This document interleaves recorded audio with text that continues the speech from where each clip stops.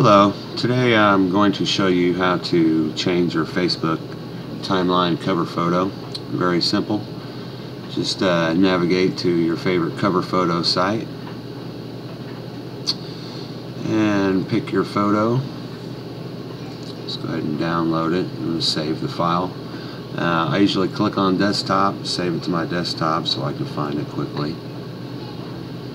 And now you're just going to jump over to Facebook, go to your timeline.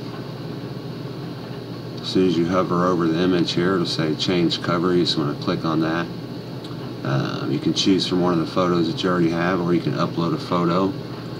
Click on desktop, uh, all files, and there it is.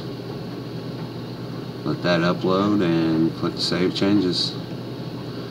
That's it. That's how you change your Facebook timeline photo.